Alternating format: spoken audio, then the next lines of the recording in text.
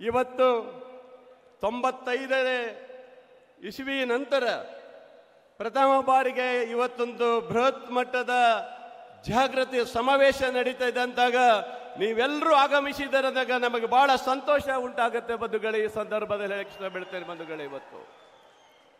ಈ ರಾಜ್ಯ ಕಂಡಂತೆ ಕರ್ನಾಟಕ ರಾಜ್ಯದಲ್ಲಿ ಐವತ್ತು ಲಕ್ಷ ಜನ ಇರುವಂತ ಇಪ್ಪತ್ತಾರು ಒಳಪಂಗಡಗಳು ಕೊಂಡಿರುವಂಥ ಸಂಘಟನೆ ಇರುವಂತ ಒಂದು ಸಂಘ. ಇವತ್ತು ಇಷ್ಟು ದೊಡ್ಡ ಮಟ್ಟದ ಈ ಸಮಾವೇಶಕ್ಕೆ ಸಂಪೂರ್ಣ ಸಹಕಾರ ಕೊಟ್ಟು ಎಲ್ಲ ಭಾಗದಲ್ಲಿ ಬಂದು ಇಲ್ಲಿ ನೀವು ಈ ಸಮಾವೇಶಕ್ಕೆ ಬಂದು ಒಂದು ಸಾಕ್ಷಿಯಾಗಿ ನಿಂತಿದ್ದೀರಿ ಅಂತ ಹೇಳಿದ್ರೆ ನಿಜವಾಗಲೂ ನಮಗೆ ಹೆಮ್ಮೆ ಆಗುತ್ತೆ. ಇವತ್ತು ಈ ಸಮಾಜ ಬಹಳ ಹಿಂದುಳಿದ ಒಂದು ಸಮಾಜ ಆಗಿರೋದ್ರಿಂದ ಇಡೀ ನಾಡಿನಲ್ಲಿ ಬಡವರು ಸಹ ಇದರಲ್ಲಿ ಹೆಚ್ಚಿರೋದ್ರಿಂದ ಸಮಾಜದ ಅಭಿವೃದ್ಧಿ ದೃಷ್ಟಿಯಲ್ಲಿ ಇಟ್ಕೊಂಡು ರಾಜ್ಯ ಸರ್ಕಾರ ಇವತ್ತು ನಮ್ಮದೇ ಆದಂಥ ಸರ್ಕಾರ ಬಂದಿದೆ ನಮ್ಮದೇ ಮುಖ್ಯಮಂತ್ರಿಗಳಿದ್ದಾರೆ ನಮ್ಮದೇ ಆದಂಥ ಉಪಮುಖ್ಯಮಂತ್ರಿಗಳು ಈ ಸಮಾಜದ ಪರವಾಗಿ ಇದ್ದಾರೆ ಅನ್ನೋಕ್ಕೆ ಹೆಮ್ಮೆ ಆಗುತ್ತೆ ಬಂಧುಗಳು ಇವತ್ತು.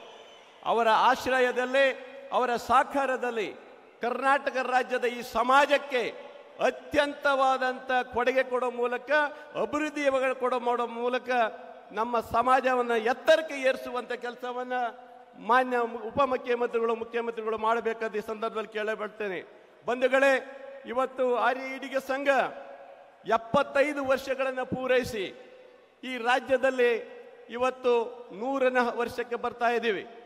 ಹಿಂದೆ ತಲಾಂತರಗಳಿಂದ ಬಂದಿರುವಂಥ, ಹಿಂದೆ ಈ ಸಂಘಟನೆಯನ್ನು ಗಟ್ಟಿ ಮಾಡಿದಿರುವಂಥ, ಬಹುಶಃ ಈ ನಾಡಿನ ಜನರ ಇವತ್ತು ಈಡಿಗ ಸಮಾಜ ಇದೆ ಅಂತ ಹೇಳಿ ಈ ನಾಡಿನಲ್ಲಿ ನಮ್ಮ ರಾಜ್ಯವನ್ನು ಆಳಿದ ಮತ್ತೊಬ್ಬ ನಾಯಕ ಇದ್ರೆ ಅದು ಎಸ್ ಬಂಗಾರಪ್ಪರವರ ನೇತೃತ್ವದಲ್ಲಿ ಅಂತ ಹೇಳಲಿಕ್ಕೆ ಇಷ್ಟಪಡ್ತಿರೋ ಬಂಧುಗಳು ಇವತ್ತು.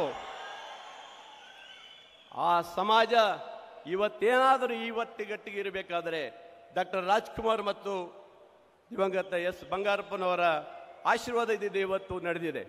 ಬಹುಶಃ ಬಂಗಾರಪ್ಪನವರು ಈ ನಾಡಿನ ಜನರಿಗೆ ಎಲ್ಲ ವರ್ಗದವರಿಗೂ ಸಿಗುವಂತ ಮೂಲ ಸೌಕರ್ಯ ಕೊಟ್ಟಂತ ಕೀರ್ತಿ ಅವತ್ತಿನ ದಿನ ಬಂಗಾರಪ್ಪನವರಿಗೆ ಸಲ್ಲುತ್ತೆ. ಅದೇ ರೀತಿ ಇವತ್ತಿನ ಮುಖ್ಯಮಂತ್ರಿಗಳು, ಉಪಮುಖ್ಯಮಂತ್ರಿಗಳು ಇವತ್ ನೇತೃತ್ವದಲ್ಲಿ ಇಡೀ ಕರ್ನಾಟಕದ ಜನರಿಗೆ ಬಡವರ ಪರವಾಗಿ ನಿಲ್ಲುವಂಥ ಶಕ್ತಿಯನ್ನು ಮಾಡಿದ್ರು ಈ ನಮ್ಮ ನಾಯಕರುಗಳು ಸಹ ಇವತ್ತು ಮಾಡ್ತಾ ಇದ್ದಾರೆ. ಬಂಧುಗಳೇ, ನಾವೆಲ್ಲ ಬಂಗಾರಪ್ಪನವರ ಗರಡಿಯಲ್ಲಿ ಬಂದಂಥವ್ರು.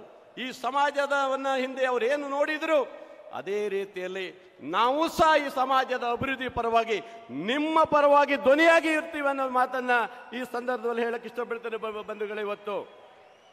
ಹಿಂದೆ ಸರಾಯನ್ನು ಮಾರ್ತಿದ್ರು, ಬಹಳ ಬಡತನದಲ್ಲಿ ಇದ್ರು ಸರಾಯ ಗುತ್ತಿಗೆದಾರ ಇದ್ರು, ಬಹಳ ಶ್ರೀಮಂತರು ಅಂತ ತಿಳ್ಕೊಂಡ್ಬಿಟ್ಟಿದ್ರು.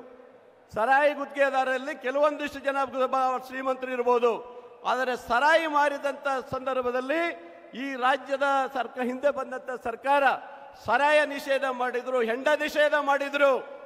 ಆದರೆ ಆ ಜನರಿಗೆ ಇವತ್ತು ಹಕ್ಕು ಸಿಗ್ಲಿಕ್ಕಾಗ್ಲಿಲ್ಲ ಬಂಧುಗಳು ಇವತ್ತು. ಅನುಕ್ಷಣದ ಸುದ್ದಿಗಳಿಗಾಗಿ ವಿಸ್ತಾರ ಯೂಟ್ಯೂಬ್ ಚಾನೆಲ್ ಸಬ್ಸ್ಕ್ರೈಬ್ ಮಾಡಿ, ಬೆಲ್ ಐಕಾನ್ ಕ್ಲಿಕ್ ಮಾಡಿ. ಸುದ್ದಿಗಳ ಅಪ್ಡೇಟ್ಸ್ಗಾಗಿ ವಿಸ್ತಾರ ಆಪ್ ಡೌನ್ಲೋಡ್ ಮಾಡಿ.